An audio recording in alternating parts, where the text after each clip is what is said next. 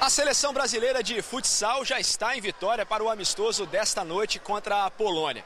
Antes do treino, os jogadores fizeram a festa da garotada de dois projetos sociais do governo. A má notícia é que a estrela da equipe, Falcão, está fora do jogo por causa de uma lesão na coxa. Ah, mais uns 10 dias ainda para recuperar. É uma lesão tão simples, nunca acabei ficando um tempão.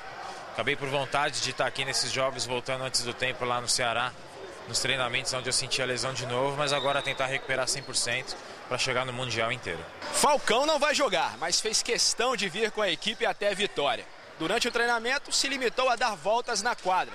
E fora dela, ele sabe muito bem a importância que a seleção de futsal tem para as futuras gerações. Você tem que motivar de alguma forma, né? A gente sabe que um estado tão bacana como esse a gente sabe que está afastado dos grandes centros do, do, do, do, esporte, né? independente do esporte que seja.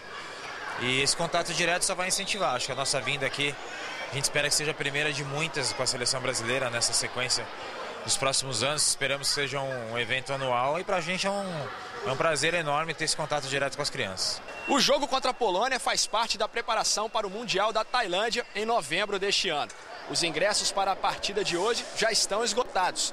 Brasil e Polônia começa às 7 horas aqui no ginásio do Tancredão.